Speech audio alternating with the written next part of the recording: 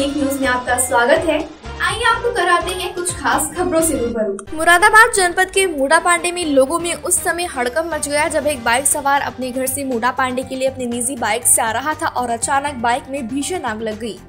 गनीमत रही कि किसी को कोई नुकसान नहीं हुआ, लेकिन बाइक पूरी तरह से जलकर राख हो गई।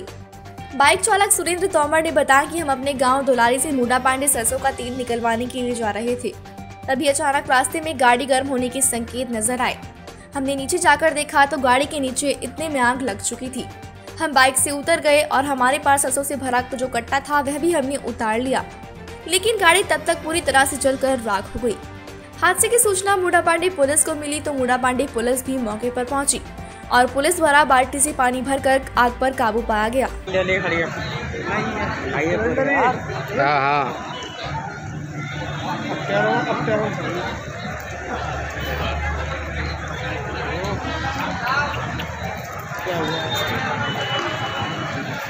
ऐसा मान के चलो।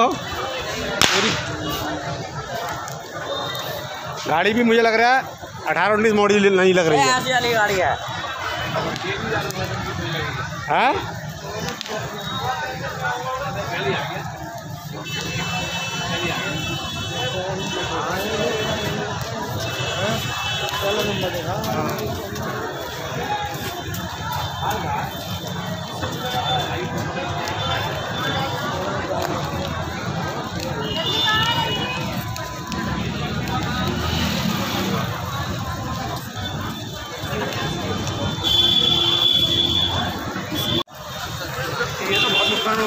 और खत्म गाड़ी खत्म हो गई? गाड़ी खत्म हो गई? पेट्रोल है इसके अंदर जब तक पेट्रोल लगा तब तक रहेगी अब अब इसके टायर भी चला टंकी में ना पेट्रोल आ रहा निकल के।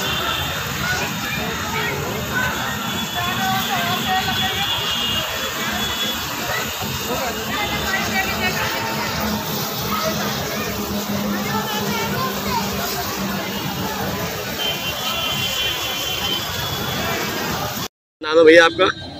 विवेक कुमार सिंह। छोटा भाई है मेरा। कहाँ रहते हैं भैया राम दौलरी भैया आपकी गाड़ी में जो आग लगी है क्या मामला है? कैसे लगी आग ये? मतलब नीचे झाँक कर देखा तो नीचे आग लगी हुई थी। जब पैर पर चलने का एहसास हुआ तो गाड़ी रोकी। रोक के जब उतरे कट्टा वट्टा उतारा उसमें तो तमाम पूरी गाड़ी एकदम जलकर आग हुई। अच्छा कौन सी गाड़ी है और कहाँ आग लगी ये है स्प्लेंडर प्लस मोटरसाइकिल है सन 2018 मॉडल है। कौन सी जगह आग लगी है? मतलब किस जगह? ये बूढ़ा पानी थाने से थोड़ा सा सौ मीटर पीछे। अच्छा मतलब गाड़ी पे आपके कुछ सामान वगैरह कुछ रखा हुआ था? कौन था? सरसों कट्टा था तेल बनाए थे। कोई साथ में था आपके? हाँ ठाकुर राहुल सिंह अच्छा किसी के मतलब कोई दिक्कत ना कोई कोई। अच्छा और आग मतलब आग कैसे बुझाई आपने? मिट्टी डाली गई पानी डाला गया। अच्छा कितने मतलब कितने टाइम के बाद आपको का- काबू पा लिया गया? पंद्रह मिनट बाद कम से कम। लगातार पानी डाला लगातार मिट्टी डाली तब चलते। अच्छा गाड़ी की इस टाइम क्या कंडीशन गाड़ी की क्या कंडीशन है इस टाइम गाड़ी जल पूरी राख हो चुकी है।